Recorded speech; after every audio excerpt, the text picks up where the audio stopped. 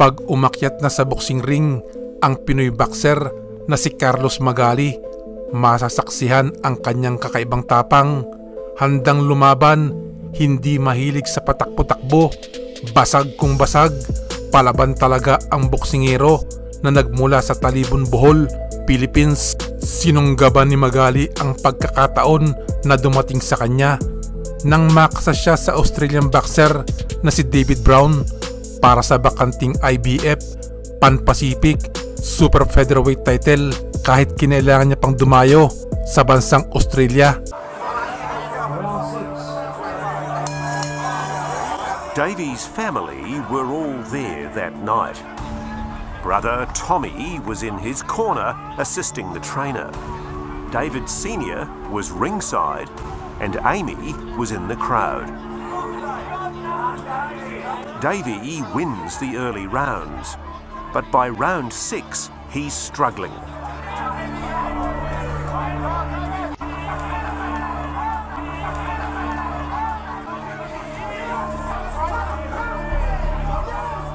In the 11th round, with a broken hand, Davy starts unravelling.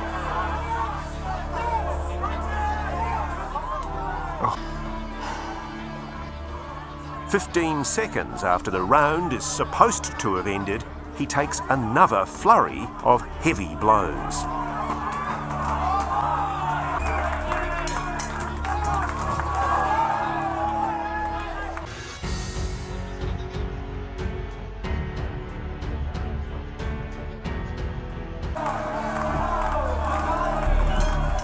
As the bell for the start of the final round sounds, Davy is struggling to get back to his feet. His corner is stalling for time. I knew that he was hurt, but I didn't realise how bad he was hurt. The referee pushes Tommy out of the ring and Davy is pulled to the centre. The neurosurgeon who investigated believes by now Davy is concussed.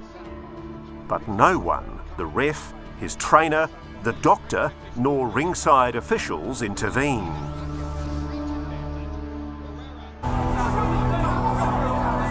So confronting is the final round, we can only show you the first few seconds. But someone in authority should have acted earlier to stop the fight.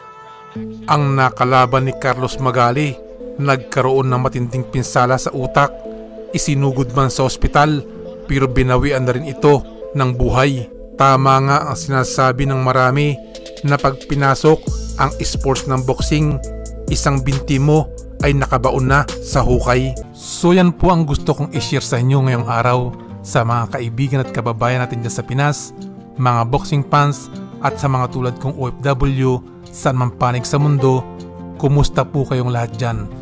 Kung nagustuhan niyo po itong aking video, paki-like at kung pwede, mag-subscribe na din po kayo.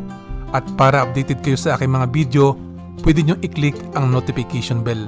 Maraming maraming salamat sa inyong panonood. Shout out kay Mr. Rosauro Grepo, Jen Merjan Garcia ng Macau, kay Mr. Dong Tangloy Malyari, Ronel Llanos ng Batangas, Edgardo Mangalos, MJ Quabo, at kay Bro Rex TV18. Maraming maraming salamat po sa pagsuporta nyo sa aking channel.